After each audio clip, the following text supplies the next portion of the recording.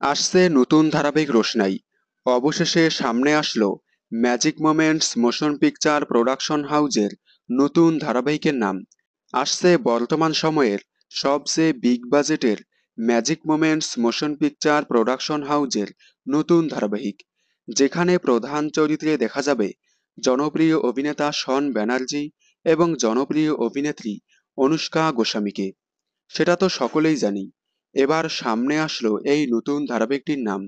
আগেই বলেছিলাম ধারাবাহিকটির নাম খুবই ইউনিক হতে পারে, কারণ ম্যাজিক মোমেন্টসের প্রায় সব ধারাবাহিকের নাম অন্যান্য ধারাবাহিকের থেকে একটু ইউনিক এটার ক্ষেত্রেও কোনো ব্যতিক্রম নেই।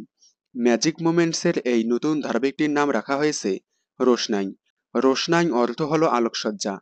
সকলেই জানি ধারাবাহিকটি লীনা গাঙ্গুলির নিজের লেখা স্টার প্লাসের ঝানাক ধারাবাহিকের রিমেক হতে চলেছে। স্টার প্লাসের ঝানাক ধারাবাহিকের পর, এবার লীনা গাঙ্গুলি নিজেই স্টার জলসায় নিয়ে আসছে ঝানাকের বাংলা রিমেক যেখানে ঝানাকের চরিত্রে দেখা যাবে অনুষ্কা গোস্বামীকে। তাহলে আপনারা রোশনাই ধারাবাহিকটি দেখার জন্য কতটা এক্সাইটেড কমেন্টে জানাবেন। বিনোদন জগতের সকল আপডেট সবার আগে পেতে চ্যানেলটি সাবস্ক্রাইব করে পাশে থাকা বেল আইকনে ক্লিক করে রাখুন। ধন্যবাদ।